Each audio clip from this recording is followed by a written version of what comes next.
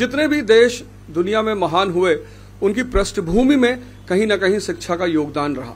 राजनीति में आकर शिक्षा का विकास मेरा सर्वोत्तम उद्देश्य है। डॉक्टर सर्वपल्ली राधाकृष्णन जी कहते थे कि दो क्षेत्रों में देश के अच्छे दिमागों को आगे बढ़ना चाहिए, एक शिक्षा और एक राजनीति। जय हिंद फ्रेंड्स। सबसे पहले मैं आम आदमी पार्टी और आम आदमी पार्टी के सर प्रमुख अरविंद केजरीवाल जी, मनीष सिसोदिया जी, सबको सहृदय से धन्यवाद देता हूँ कि उन्होंने मुझे राजनीति में आकर शिक्षा के लिए काम करने का अवसर दिया है। शिक्षा एक ऐसा माध्यम है जो परिवार, समाज और राष्ट्र की आत्मा है।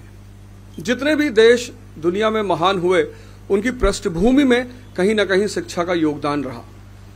तो मैं आज अपनी इस राजनीतिक पारी की शुरुआत पर आप सबसे ये बात साझा करना चाहता हूँ, जैसा कि हमारे नेता मनीष सिसोदिया जी ने कहा कि अगर मुझे राजनीति और शिक्षा में से कुछ चुनना हो तो मैं निश्चित तौर पर शिक्षा को चुनूँगा।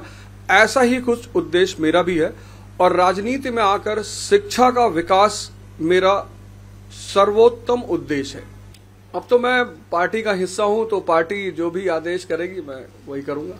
आम आदमी पार्टी के चुनाव में जो फिर पहले हमने आपके वजीरों ने बीजेपी और कांग्रेस साथ में काम करे बीएसपी का ऊपर किया था अब आम आदमी पार्टी। आपने आम आदमी पार्टी की जो शिक्षा का विकास धारा है सिर्फ़ उसमें एक आध पॉइंट अगर आप देख लें कि सत्तानबे परसेंट रिज़ल्ट है ट्वेल्थ का गवर्नमेंट स्कूल का। एक साल में तो 99 परसेंट आया था।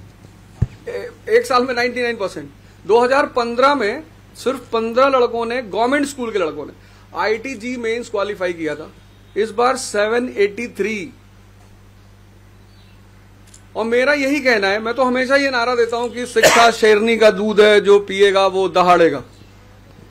और डॉक्टर सर्वपल्ली राधाकृष्णन जी कहते थे कि दो क्षेत्रों में देश के अच्छे दिमागों को आगे बढ़ना चाहिए, एक शिक्षा और एक राजनीति।